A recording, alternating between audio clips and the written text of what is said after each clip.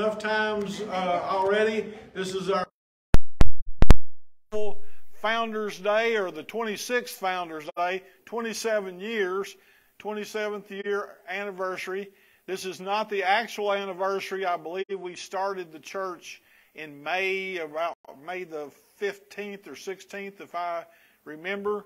And our our celebration is a little bit behind, but it's not that much behind. We try to do it after we get past school and all of that and get into the summer. So, yeah, we we move it we moved it into June because in large part because of the weather, and then guess what happened? Well, the weather weather wasn't too cooperative anyway. So praise the Lord anyway.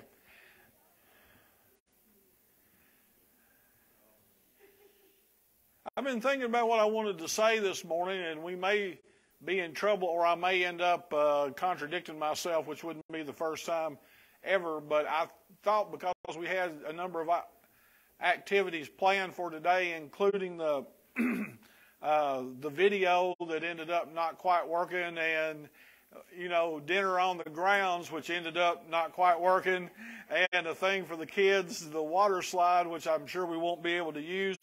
I only planned about a 15 minute sermon today.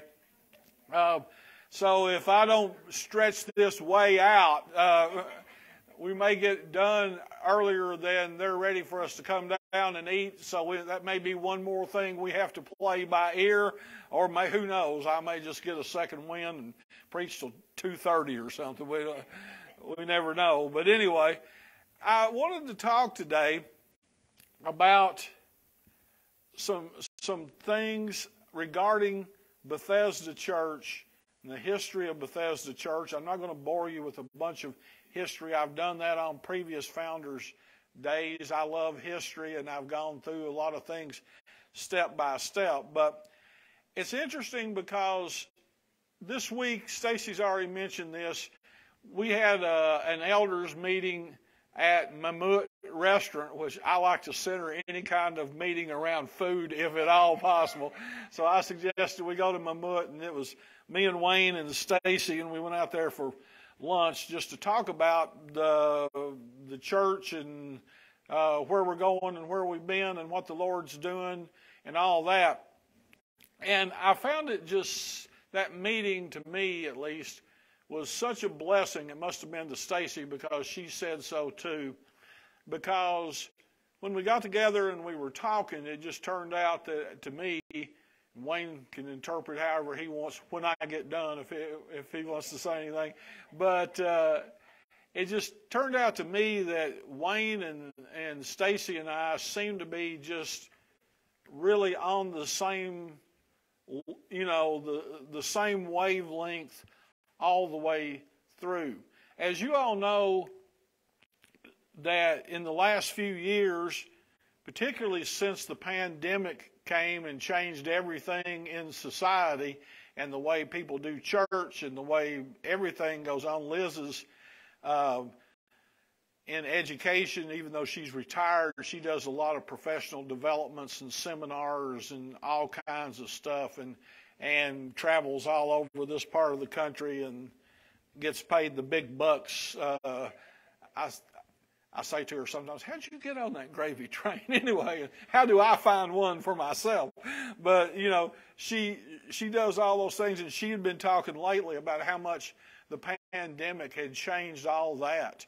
And that since the pandemic, uh, they used to have these meetings like she would go to and there would be sometimes hundreds of people that would sign up and pay to come and and and all that. She had one offered the other day. Nobody signed up. And during the pandemic, people would sign up to do it online, but nobody wants to do anything online anymore.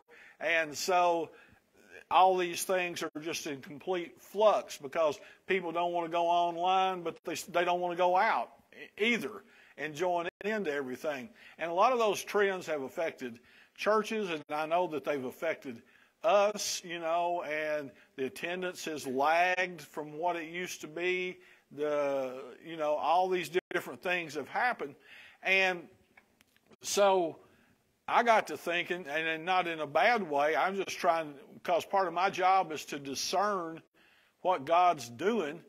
I got to thinking about it, and, you know, and I thought, well, we've had a lot of changes here, too. I don't know exactly what's going on. And I thought, as my buddy said one time about himself, I've told you this story before, but my old buddy Smith got me off one day and he said, You know, after my third wife left me, I had this revelation. And I said, Really? What was that, Smith? And Smith said, Well, I woke up one morning and I walked into the bathroom and to shave and brush my teeth. And he said, I was just standing there looking at, in the mirror, and there I was all alone, and three wives left me. And he said, I looked at myself in the mirror, and I just had this thought. It came to me maybe it's me. And he said, but then I realized, no, it couldn't be that. I went out something else. So I said that to say, so I, I started thinking, well, you know, if things aren't going the way they used to be and they're going to do, maybe it's me. You know, maybe it's time for me to move on. I'm old and kind of broke down anyway, and I thought maybe it's maybe it's this the Lord saying to me, it's time for you to hit the dusty trail, Jack, and and uh, which is okay with me because I'm not looking to go anywhere, but at the same time, I'm open for whatever the Lord wants to do and always have been. And it's all the same to me. If I mean, I love y'all, don't get me wrong, but whatever the Lord wants to do, it'll be good. It'll be good for everybody concerned. But I got together with Wayne and Stacy, and we were talking about that. And I said, you know, one of the things I want to talk to him about is, is, is it me? Maybe we, maybe I need to get out of the way and let the Lord do something else. And uh, both of them said, "No, it's not you." And and you're still hitting on all cylinders. And I said, I am, because I don't, I don't think I am, but okay, maybe maybe I am.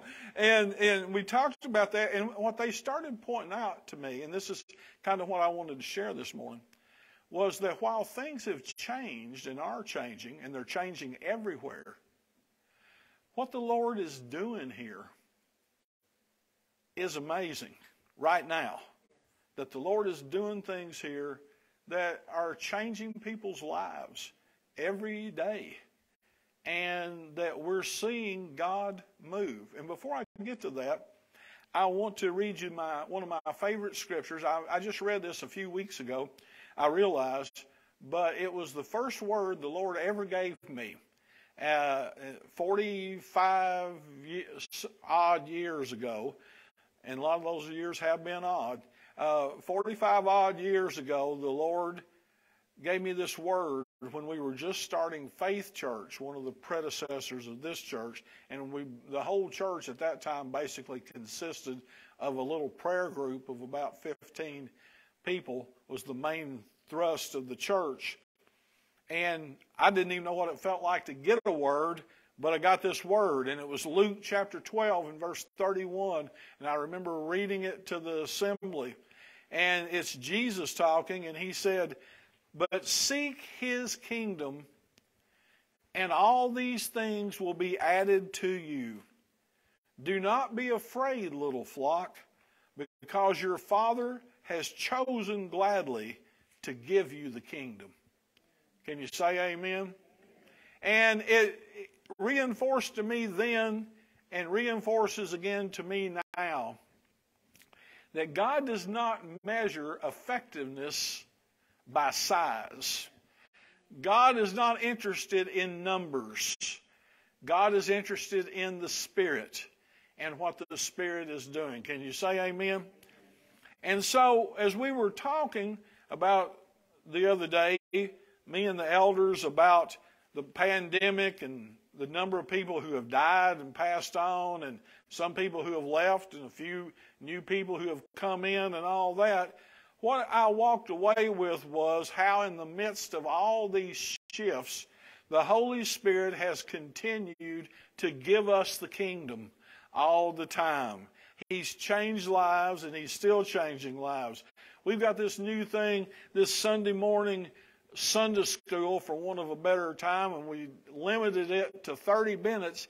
And I didn't ever think I could even introduce a topic in 30 minutes, and we're trying to study the book of Ephesians in 30 minutes, which is probably the deepest book in the New Testament, except maybe for Hebrews. And I mean, there's a, it's packed in there tight, and we're trying to unpack it as we go. But we've had a terrific turnout. Uh, we've been running. This morning was a little down because all the stuff that's going on around here with the the uh, Founders Day but we've been running 13, 12, 13, 15 people every week, which is pretty good for us, all adults. And in that 30 minutes, I mean, it's just been dynamite, I think. I mean, it's just, it lights me up. I didn't really want to do it, if I can be honest. I, you know, somebody had suggested this. I don't want to do that. I've, I've done Sunday school you know, for a big part of my life and never never was crazy about it. I don't want to do a Sunday school, particularly if I got to lead it, you know, and and uh, but I agreed to do it, being a humble, willing servant. As as, as somebody wanted to do it, I'm like, okay, I'll do it. Yeah, all right. So I came in thinking four weeks. I remember the first teaching I set up was four weeks. I thought that ought to get it out of everybody's system, and we'll do we'll do four weeks, and then we'll declare it a failure, and then we'll move on, you know. And uh, we got in here, and it's just we're now on our second study, and it has just been dynamite. And I said that to say, I've got where I look forward to it. I mean, like you know, I'm like getting up and thinking, oh boy, we got Sunday school, you know, we got we got that thing because it's just been so powerful. It's just such a presence of the Holy Spirit there. The Lord is just unlocking so many things. And we've got our Wednesday night Bible study that has been going gangbusters for years and is still going gangbusters. We have now graduated into John chapter 14. After only a year, we have covered 13 chapters and moved on. But it, I mean, that's another thing that I look forward to. I'm not part of the women's group. I don't know why I wasn't invited to be in the women's group, but I'm not part of this women's Bible study that's going on. But everything I hear is it is equally dynamite, and people are just getting zapped and touched, and God is changing lives, and so on and so forth. I mean, those are just three things that we talked about. I think the other day at. Uh, the restaurant. But God is always doing something new and powerful all the time. Can you say amen? And here's what I can say about Bethesda. This is the 27th year of Bethesda. Before that, I had, I don't even know how many years, 20, 20 some years of either Faith Church or Grace Church. I was at both places different times. And so altogether, I've been associated with this group and this place here for 45 years.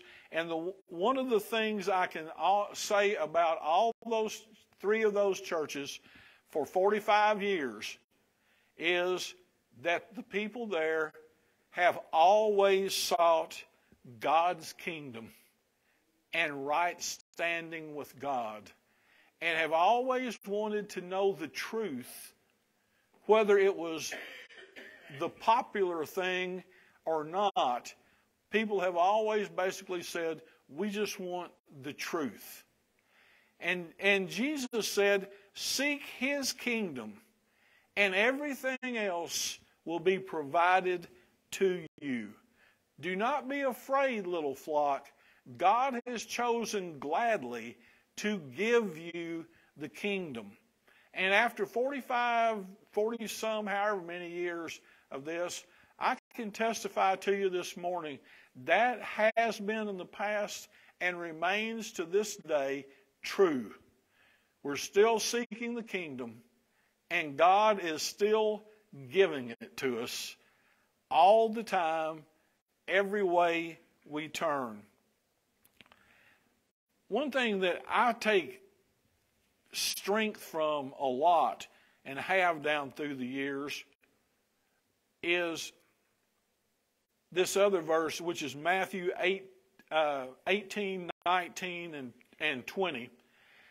chapter 18, verses 19 and 20, where Jesus says, Again I say to you that if two of you agree on earth about anything that they may ask, it shall be done for them by my Father who is in heaven.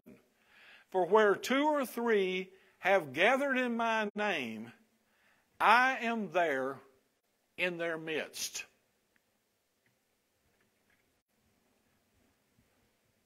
You know, I was thinking when Liz was preparing this slideshow and she was going through all these old pictures and I was looking at all these old pictures. One of the sad things about that, and I'm in a great mood this morning. I hope I'm not sounding sad because I'm not sad. Uh, but I was struck by how many of the people who were here or in, at Grace or at Faith churches in all the previous decades, how many of them are gone now? And I'm, I don't mean like they went to another church. I'm, I'm saying they're dead. You know, they've gone to be with the Lord. And the scripture says that we're all like the flowers. We're all, we all bloom for a moment and then we fade and our day passes and then we go on. People come and go, all of us do. We fade like flowers.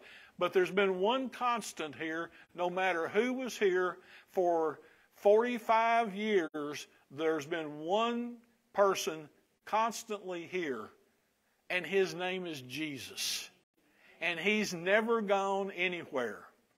And down through the years, you know, as I look back at all the people I loved who I've lost, I can't tell you how many times I've had the thought to myself when I saw somebody who was in danger of passing away or some other thing was going on.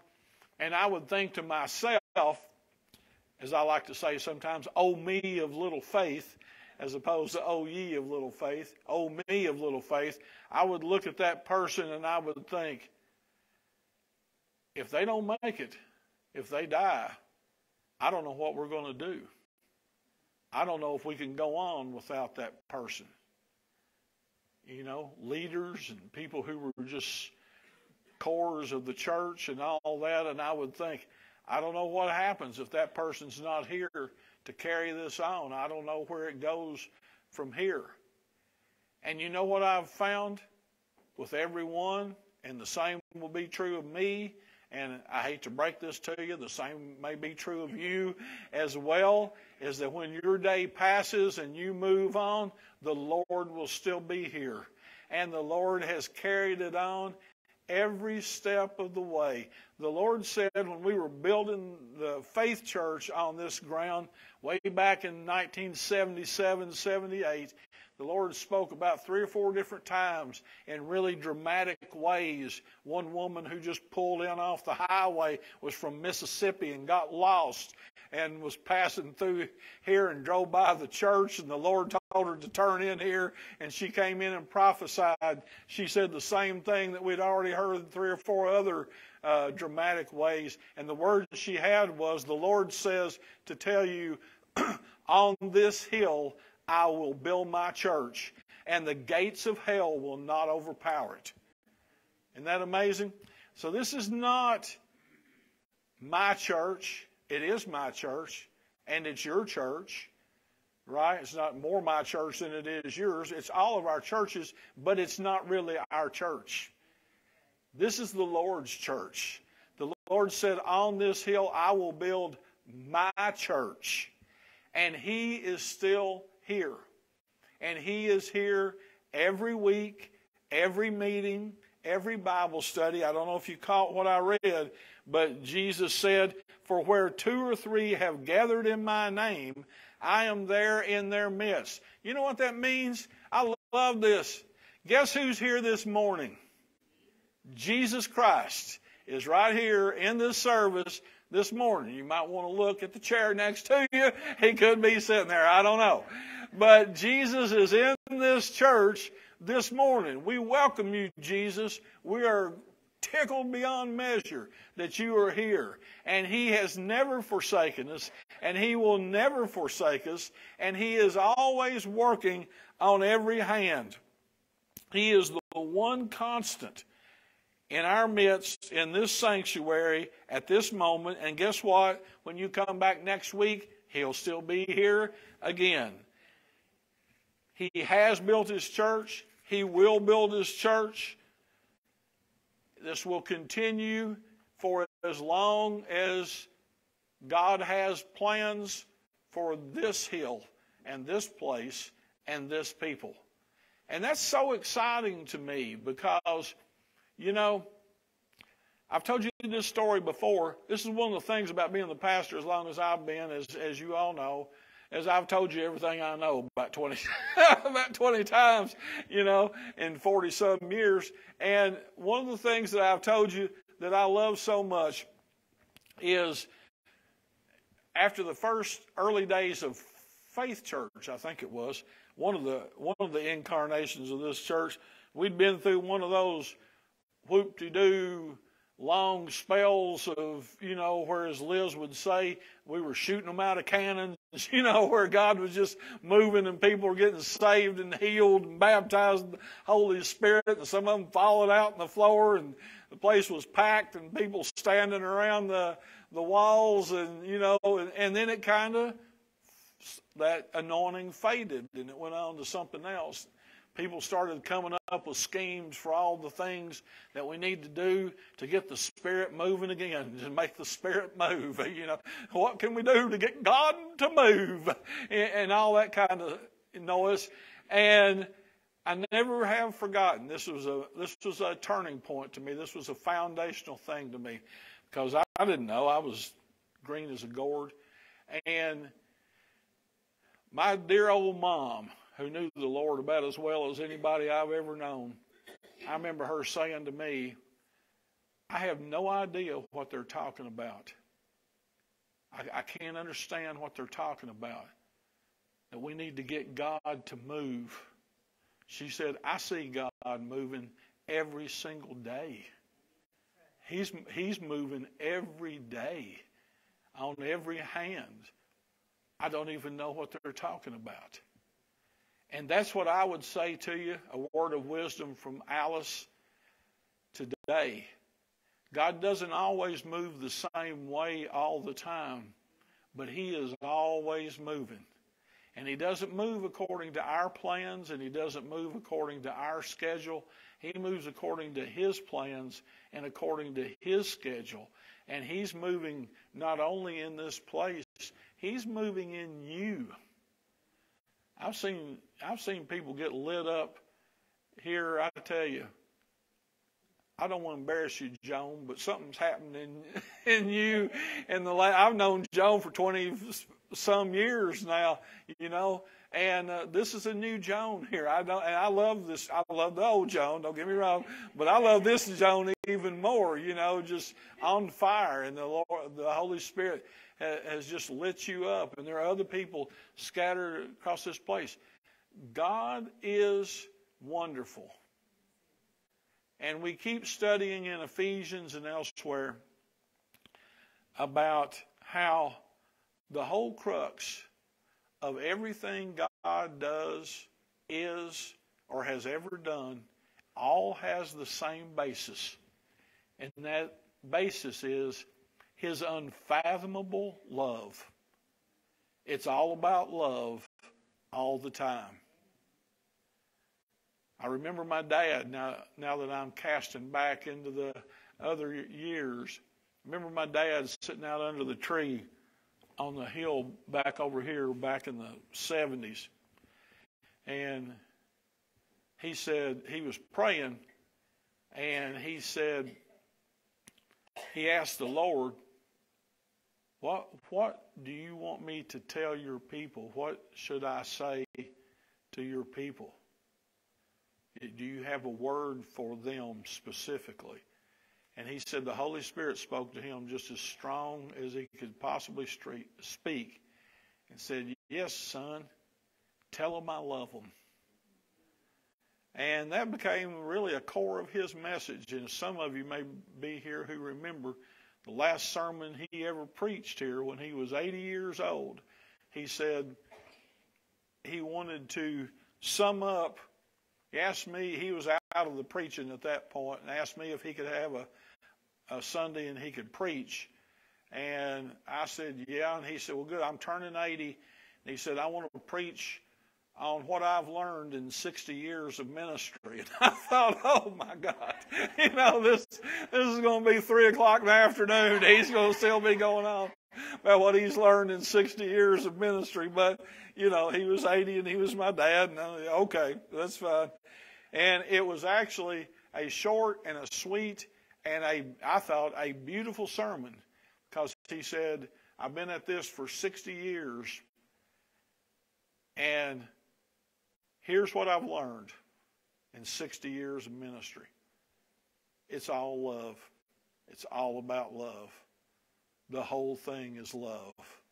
God loves you and he wants you to love others and wants all of us to love one another. And that's it. And that's what we've try, always tried to do here. And I hope we will continue going on trying to do this till the Lord calls us home. Amen. Amen. I'm done. Uh, we're really early. I'm betting they don't have the food done yet. But uh, let's do this for a minute, and then if this doesn't work, we'll just dismiss and invade them. Go on down, start grabbing the chicken leg or something. Um, it, what? Well, we can't quit if the chicken's not here then. Uh, I want to just